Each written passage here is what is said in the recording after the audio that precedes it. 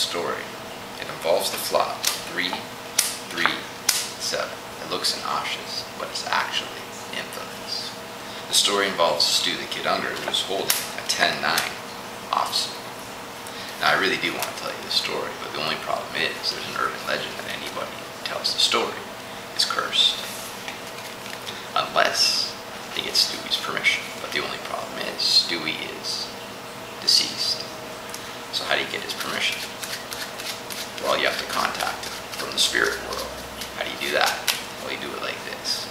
You spell his name, Stu, S-T-U, the, T-H-E, kid, K-I-D. If his spirit is present have his blessing, this should be the flop. Three, three, seven. That's just awesome. Now the other thing is, it doesn't really matter how much you shuffle or cut the cards. If his spirit is present, you will always deal yourself his hand, which we know is the 10-9 offsuit. 10-9 offsuit. Since I have his blessing, I'll tell you the story. Thing about Stu was he was horribly addicted to cocaine, and he was also a degenerate gambler. In 1990, he was so broke he couldn't even afford to buy himself into the World Series of Poker. So his friend Billy Baxter staked him. And after two days, Stewie was amassed a huge lead in the tournament. Almost insurmountable considering he's the greatest player to play tournament poker at the time and he's got the huge chip stack. Well, after day two, he leaves Binions Horseshoe and walks across the street to the Golden Nugget where he has a room he does a lot of cocaine. So much cocaine he collapses and winds up in the hospital. He's nowhere to be found for day three, so they ante and blind his chips away.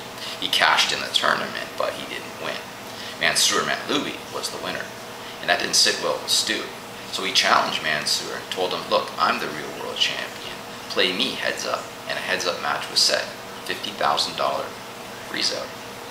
The very final hand, Stewie was holding 10-9 on the button and he raised. Mansour calls. The flop comes down, 3-3-7. Mansour checks it to Stewie. Stewie overbets the pot. Well, Mansour calls. On the turn, which is a king, Mansour checks it to Stewie, and Stewie checks. The river's a queen. Mansour now moves all in for a huge overbet. Stewie tells him, Look, I know you got a busted straight. Call.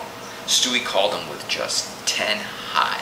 And sure enough, Mansour was holding the 4-5 for a busted gut shot straight. Stewie's 10 high beat Mansour's 5 high. Mansour was crushed and the freeze out